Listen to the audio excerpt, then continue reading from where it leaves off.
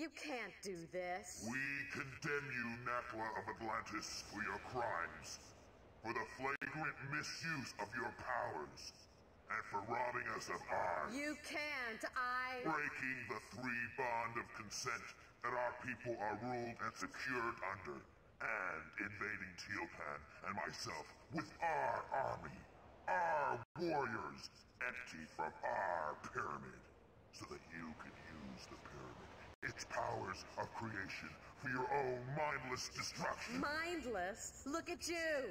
Neither of you have one squirt of inventive juice in your heads. Wasters. Let's just do it. Tihocan! You use the sacramental place as a source of individual pleasure, as some freak factory. They're survivalists, a new generation. A slaughter heap now. And you, we're gonna lock you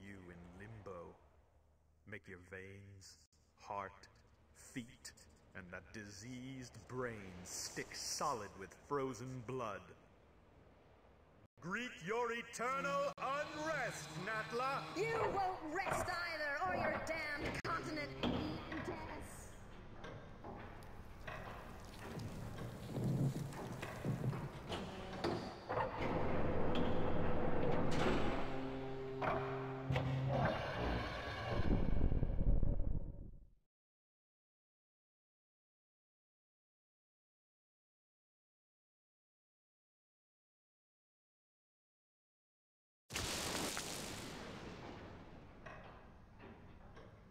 Back again.